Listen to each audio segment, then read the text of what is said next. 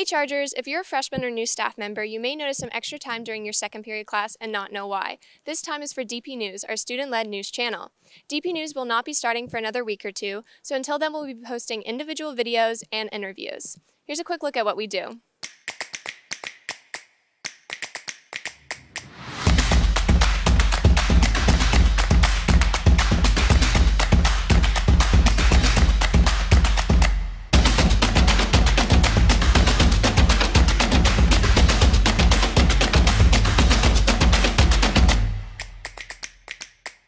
Make sure to check out DP News on the DP News website or their YouTube channel.